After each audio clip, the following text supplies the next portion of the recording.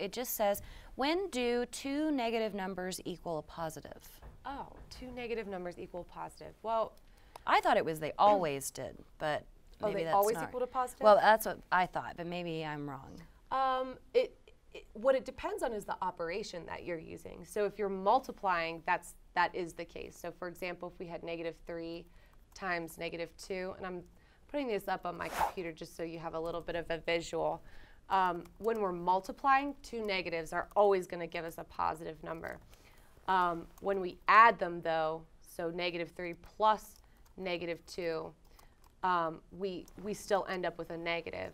And that's because if we're looking at the number line, if I'm starting at negative 3, so here's my 0, negative 1, negative 2, negative 3, negative 4, and so on. If I'm starting at negative 3 and then I'm adding a negative number, I'm going again in the same direction that I was um, before.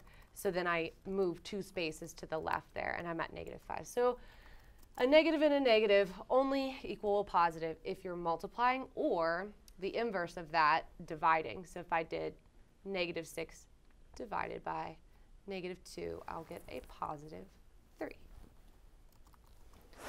Hope that answers that question. Yeah, I think it did, at least for me.